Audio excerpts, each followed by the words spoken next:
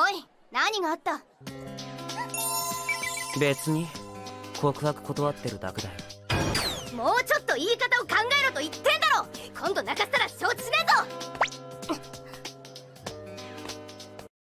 こんなのもし学校のやつらに見られたら。わお。こりゃびっくり。会長だ。お疲れ様でしたあ普通になってる。ふん。家庭の事情か。そんなに苦しいの？まあな。でわざわざ隣町でメイド喫茶か。近場の力仕事でもいいんじゃないの？体力が持たなかったんだよ。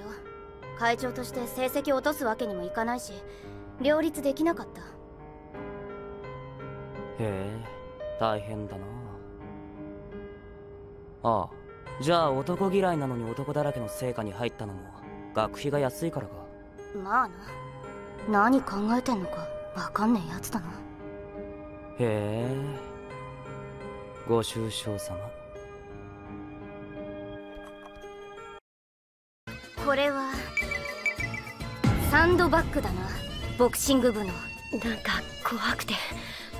これが邪魔で可動部に行けないんですとりあえずこれ移動させないとな。ちょっと下がってて。でもこれ臭いしすっごい重くて。任せとけって。俺らボクシング部お前らこれとっとと片付けろ。いやさすが美咲すごすぎ。大したことないよ。人一人投げるより軽いし。ありがとう。大好き。お礼にどうぞ。あ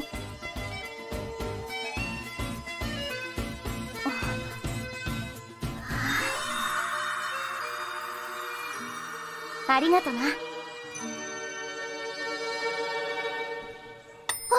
こっち見てるあれ？こっち見てるのうすいくん？な何見てんだよ！ぷ。プってどういう意味だ？お帰りなさいませご主人様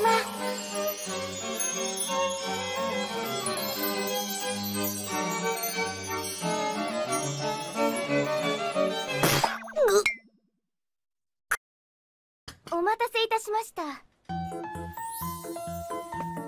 じー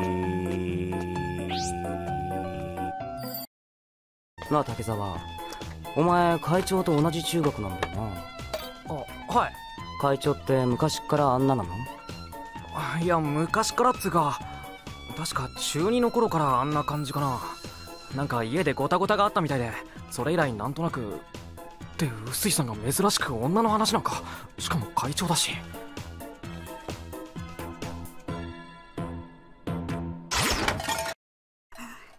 また来てる。やっぱりミサちゃんのこと気にしてる。え？心配そうな目がいじらしいわ。は？あ心配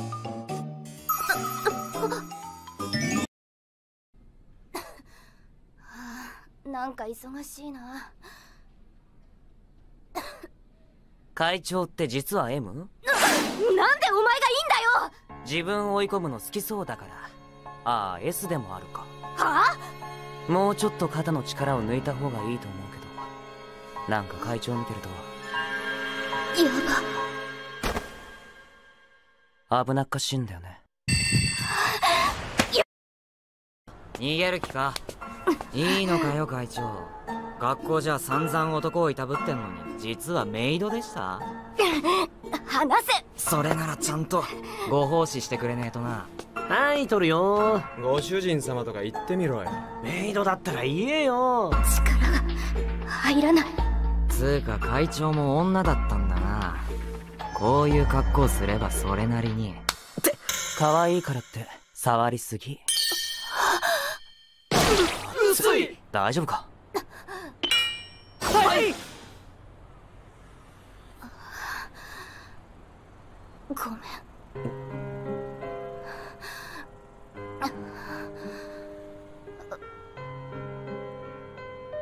ごめん。薄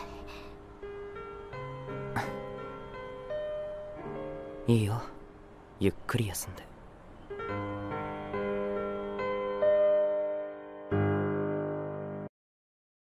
あいつらに何かしたのか？別に俺の密かな楽しみだから。あんま言いふらさないでほしいなとは言ったけど。やっぱ楽しんでるのか？だってきっと心配だって言ったら怒るでしょ？まあ俺は別に学校にバレてもいいと思うけどね。バイト自体は許可されてるんだしメイドの服着てるからって会長が強いことも頭がいいことも努力を惜しまない性格なのも全部変わらないんだから。胸を張っていいと思うぜ。昨日だから礼をしたいんだが思いつかなくてな。何か考えといてくれ。じゃあ。何かあるか。一日だけ。俺だけのメイドになって